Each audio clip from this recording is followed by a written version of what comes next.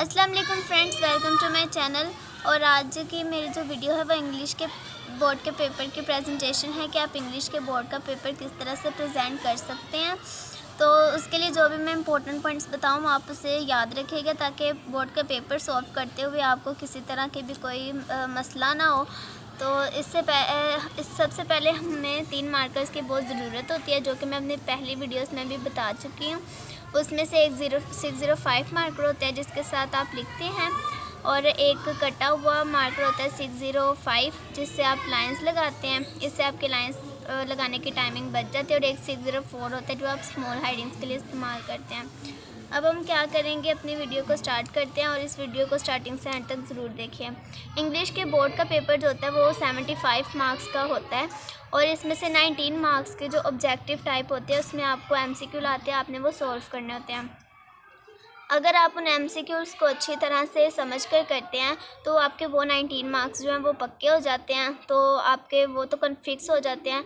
तो आगे आप सब्जेक्टिव भी अच्छी तरह से फिर अटैम्प्ट कर सकते हैं। सब्जेक्टिव टाइप में हमारे पास जो सेक्शन नंबर वन होता है, वो क्वेश्चन नंबर टू से स्टार्ट होता है, जो कि आपने आंसर द क्वेश्चन करना होता है। आपके पास एट क्वेश्चन होते हैं, आपने कोई से फाइव अटैम्प्ट करने होते हैं, जो आपको सबसे अच्छा आता हो, आप उसको अटैम्प्ट करें।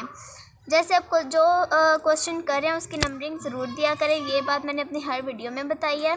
जैसे आप क्वेश्चन नंबर वन कर रहे हैं तो आ, उसकी नंबरिंग दे बाज़ात आप क्वेश्चन नंबर टू करते हैं तो आप उसकी नंबरिंग जो क्वेश्चन नंबर वन दे देते हैं पहला सवाल समझ के। तो ये रॉन्ग कंसिडर होता है जो क्वेश्चन करें उसकी नंबरिंग ज़रूर दिया करें। जैसे हम यहाँ पर क्वेश्चन नंबर वन लिख रहे हैं कर तो अब आप पूरा क्वेश्चन ना लिखें, आप बस उसकी मेन हाइडिंग दे दें। जैसे यहाँ मैंने मेन हाइडिंग दिया और यहाँ से आप वन टाइप डिस्टेंस छोड़ के तो आप लिखना स्टार्ट कर सकते हैं। अदरवाइज़ आप यहाँ से भी करें तो कोई मसला नहीं है।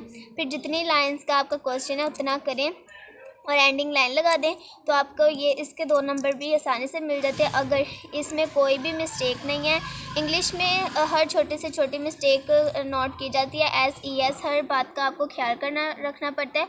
और जो टॉपर्स होते हैं, वो छोटी से छोटी बात का भी ख्याल रखते हैं। तो फिर आपने एंडिंग लाइन लगा देनी है, ताकि एग्जामिनर दो क्वेश्चन को एक ना समझे। उसके बाद क्वेश्चन उसके बाद हमारे पास ये सेक्शन नंबर वन था, फिर हमारे पास सेक्शन नंबर टू आता है, जो कि क्वेश्चन नंबर थ्री से स्टार्ट होता है। और उसमें आपने ट्रांसलेट करना होता है पैराग्राफ को उर्दू में। नाइन्थ में ये था कि आपको तीन पैराग्राफ दिए जाते हैं, उसमें से आपने दो अटैम्प्ट करने होते हैं। लेकिन टेंथ में ऐसा नहीं है, आपको एक ही पैराग्राफ दिया जाता है और आपने उसकी ही ट्रांसलेशन करनी होती है। अब इसका मेथड क्या है?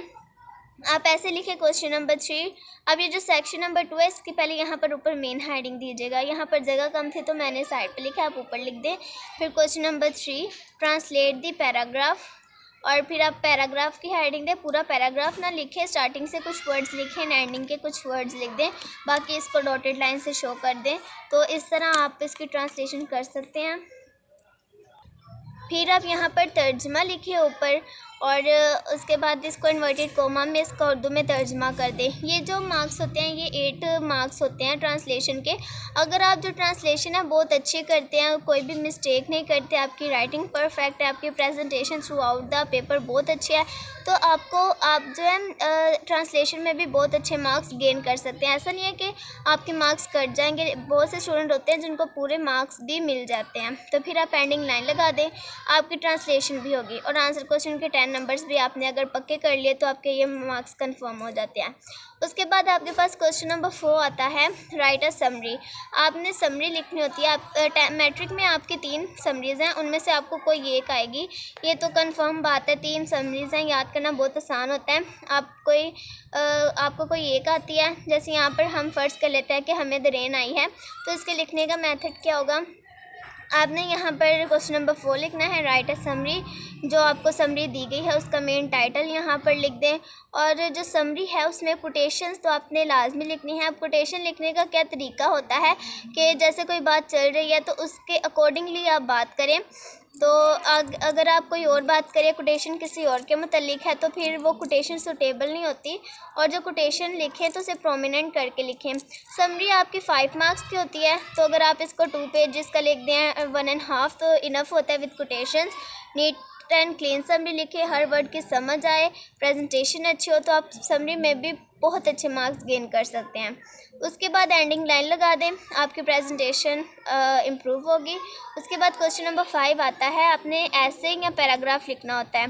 तो अब आप इसमें जो आपको आता हो तीन तीन आपको चॉइसेस दी जाती हैं। अगर आपको ऐसे आता है, वो अटैम्प्ट कर लें। अगर आपको पैराग्राफ्स आते हैं तो आप वो अटैम्प्ट कर लें। लेकिन पैराग्राफ में आप एक पैराग्राफ में लिखते हैं। ऐसे में आप पैराग्राफ्स बना कर लिखते हैं। लेकिन पैराग्राफ में आप पैरा जो है वो जैसे लाइन छोड़ कर करते हैं ऐसे आप नहीं कर सकते। तो पैराग्राफ में आपको जो टॉपिक दिया जाए, आप उसका एक ही पैराग्राफ में कर दें। ऐसे में आप उसके टॉपिक्स बनाकर तो फिर लिखें। तो ये फिफ्टीन मार्क्स का होता है। तो इसकी वजह से आपको ज़्यादा से ज़्यादा लिखें और ऐसे में आप कोटेशन लिख सकते हैं। पैराग्राफ्स में कोटेशन नहीं लिखते। ऐसे में कोटेशन लिखें, जैसे कायद अज़म का ऐसे आया है। तो आप कायद अज़म के बारे में आप बहुत कुछ लिख सकते हैं उनकी पूरी डिटेल लिखें क्योंकि फ़िफ्टीन मार्क्स गेन करना आसान नहीं है। आप के सिलेबस में या आपकी बुक्स में जितना दिया है, वही करें। कंसर्न टीचर्स से उसमें मज़ीद ऐड करवाएँ, खुद खुद से कुछ ऐड करें तो वो भी टीचर से कन्फर्म करें, ताकि आप अच्छे मार्क्स जो है, इसमें भी गेन कर सकें। इस तरह आप ऐसे में भी अच्छे मार्क्स ले सकते हैं। उसके बाद हमारे पास क्वेश्चन नंबर सिक्स आता है, जो कि आपने नरेशन को चेंज करना होता है। डायरेक्ट स्पीच आपको दी जाती है, आपने उसको इनडायरेक्ट स्पीच में करना होता है, ये भी हमारे पास फाइव मार्क्स के होते हैं। तो आप लिखें question number six changes changes sentences into indirect speech तो आपने डायरेक्ट को इनडायरेक्ट में करना होता है, लेकिन बाज़ात ऐसा होता है कि आपको इनडायरेक्ट आ जाते हैं तो आपने उनको डायरेक्ट में चेंज करना होता है। उसका क्या मेथड है? आपको फाइव नरेशंस आपने करनी होती हैं एट दी जाती हैं। चॉइस होती है। जो आती है आसानी से फ़र्स्ट फाइव अटैम्प्ट करें इजी है। अब आप क्या करें? डायरेक्ट मैथ डायरेक्ट लिखें डायरेक्ट स्पीच और उसको लिख दें। फिर आप इंडायरेक्ट की हाइडिंग देकर तो जो इसकी इंडायरेक्ट स्पीच बनती है, उसे कर दें। लाइन लगा दें। इस तरह सेकंड करें। लेकिन अगर आप इस तरह से नहीं करना चाहते तो आप क्या करें? सिंपल जो पहली करें तो वन लिखें। और आप उसकी अगर डायरेक्ट इंडायरेक्ट स्पीच करें तो यहाँ पर इंडायरेक्ट लिखें। तो उसको सॉल्व कर दें। इन दोनों में से जो मेथड आपको पसंद है वो करें और बाद में एंडिंग लाइन लगा दें। इस तरह से आपने कोई भी पाँच करने होते हैं। उसके बाद आपने क्वेश्चन नंबर सेवन करना होता अच्छा इसमें भी आप फिर अच्छे से फाइव मार्क्स जो है वो गेन कर सकते हैं, क्योंकि अगर आपने इनडायरेक्ट और डायरेक्ट की बहुत अच्छी प्रैक्टिस की हुई है और समझ के की हैं तो आप इन गलती की कोई गुंजाइश नहीं है, आप इजीली अटैम्प्ट कर सकते हैं। उसके बाद क्वेश्चन नंबर सेवन होता है, वो पेयर ऑफ़ वर्ड्स का होता है। आपको एट पेयर ऑफ़ वर्ड्स दिए जाते हैं, आपने कोई से फाइव अटैम्प्ट करने हैं। तो वही मेथड है, आप क्या करें यहाँ पर जैसे आप फ़र्स्ट अटैम्प्ट कर रहे हैं तो अगर आप वर्ड्स पेयर ऑफ़ वर्ड जो है, वो वर्ड जो है, वो वो लिखें यहाँ पर मीनिंग्स लिखें सेंटेंसेस उसके बनाएँ। लेकिन क्या होता है कि मीनिंग लिखना ज़रूरी नहीं होता। कुछ बच्चे जो है, वो अपनी आसानी के लिए मीनिंग्स याद कर लेते हैं तो वो पेपर में भी लिख देते हैं। तो अगर आप लिख देते हैं तो कोई बात नहीं है, कोई मसला नहीं है, आप लिखें, अपनी आसानी के लिए कर रहे हैं। तो यहाँ पर आप वर्ड्स लिखें मीनिंग्स एंड सेंटेंसेस बना दें उसके और फिर एंडिंग लाइन लगा दें। उसके बाद आपने फ़र्स्ट पेयर ऑफ़ वर्ड कर लिया उसके बाद आप यहाँ पर सेकंड की हेडिंग दें। इसी तरह हम लिखें पेयर ऑफ़ वर्ड्स उनके मीनिंग्स लिखें सेंटेंसेस बनाएँ एंड एंडिंग लाइन इस तरह one two three four five करें। और उसके बाद आप एंडिंग लाइन लगा दें और आपके फाइव मार्क्स आप इसमें भी अच्छी तरह से, बहुत इजीली आप गेन कर सकते हैं। अगर आपने पेयर ऑफ़ वर्ड्स बहुत अच्छी तरह से याद किए हैं।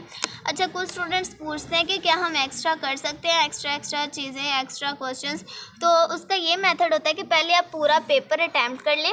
जो आप चीज़ एक्स्ट्रा करना चाह रहे हैं, उसकी जगह छोड़ दें। जैसे आपने फाइव पेयर ऑफ़ वर्ड्स कर लिए हैं तो आप सिक्स भी करना चाह रहे हैं, लेकिन उसके लिए आप क्या करें? आपको पता है वो दो लाइनों में, तीन लाइनों क्वेश्चनों में आएगा तो उनकी जगह छोड़ दें। और फिर अगला क्वेश्चन करना शुरू करें। अब आपने पूरा पेपर कर लिया और अगर आपके पास टाइम है तो आप फिर उसको वापस आकर उसको अटैम्प्ट करें। अदरवाइज़ आप ना करें, जब आपके पास टाइम नहीं है तो आप एक्स्ट्रा करने बैठ जाए और बाकी पेपर ही ना हो।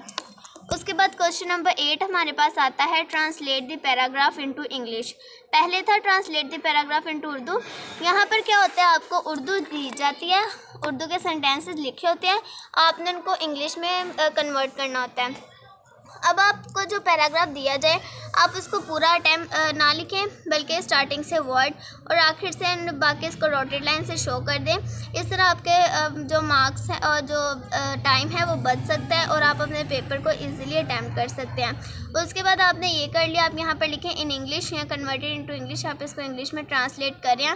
तो यहाँ पर इसको इंग्लिश में ट्रांसलेट कर दें एज अ पैराग्राफ ही करें सेंटेंसेस बना कर, ना करें। क्योंकि पैराग्राफ में दिया है तो पैराग्राफ में ट्रांसलेट करें एंडिंग लाइन लगा दें। लेकिन इस क्वेश्चन में और चॉइस होती है कि जो बच्चे होते हैं जिनको उर्दू नहीं आती तो उनके लिए एक ऑप्शन ये होती है कि उन्हें एक टॉपिक दे दिया जाता है, उन पर उन्हें कुछ सेंटेंसेस लिखने होते हैं। लेकिन जो कि बच्चों ने, अब हमने तो उर्दू के की होती हैं तो उर्दू को हम इंग्लिश में आसानी से कन्वर्ट कर सकते हैं। अगर आपने प्रैक्टिस की हुई है, जिन बच्चों ने किया, वो तो आसानी से अटैम्प्ट कर सकते हैं। तो इस तरह आप इंग्लिश में सेवेंटी फाइव मार्क्स में से सेवेंटी प्लस मार्क्स लेना बहुत ही आसान होता है। बस क्या है कि आपने ज़रा सी एफ़र्ट करनी है, बल्कि बहुत एफ़र्ट करनी है, क्योंकि मेहनत का फल आपने अगर हासिल करना है तो आपको मेहनत तो बहुत करनी होगी। तो अच्छी तरह से पेपर को अटैम्प्ट करें। आप जो लाइंस लगाएँ, ये भी आप पेपर को पूरी तरह अटैम्प्ट करने के बाद लगाएँ। पहले पूरी तरह पेपर अच्छे से सॉल्व कर लें, टाइम है। तो आप वैसे तो प्रेजेंटेशन अच्छे से लिखते जाइए और फिर लाइंस लगाना ही रह जाता तो वो आप आखिर पर लगा लीजिए। बाकी आपका पेपर पूरा और लाइंस लग जाए थ्रू आउट प्रेजेंटेशन बहुत अच्छी है। तो आपको मार्क्स लेने में कोई भी मुश्किल नहीं होगी मेरे ख्याल से। तो अगर आपको मेरी वीडियो पसंद आई है तो इसको लाइक एंड सब्सक्राइब ज़रूर करें ताकि मेरी जो भी न्यू वीडियो आए, क्योंकि मेरी वीडियोस पेपर से ही मुतलिक होती हैं तो इससे आपको बहुत ही फ़ायदा होगा, ये आपके लिए बहुत हेल्पफुल होंगी। तो मेरे चैनल को सब्सक्राइब कर दीजिए एंड अल्लाह हाफिज़। स्टे